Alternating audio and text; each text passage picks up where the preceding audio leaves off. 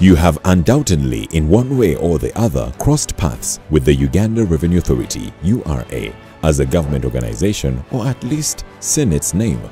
Are you aware of who they are, what they do, how they go about doing it, and what obligations they have to you or even of your obligations to the URA? It is time for each one of us to get on the same page.